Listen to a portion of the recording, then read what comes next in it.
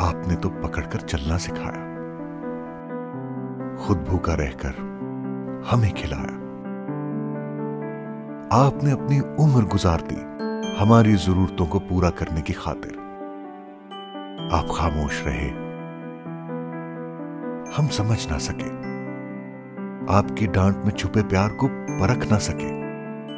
जब मैं कुछ ना था, आपने मुझे संभाला। जो आज मैं हूँ वो मुझे बनाया। आज मैं जवान हूँ और आप बुढ़ापे को छू रहे हैं। आज से पहले मैं आपकी ज़िम्मेदारी था। अब आप मेरी ज़िम्मेदारी है। अपने फादर के साथ अपनी बेस्ट मेमोरी या पिक्चर कमेंट्स में शेयर करें और इस वीडियो को ट्रिब्यूट के तौर पे आगे ज़रूर शेयर करें।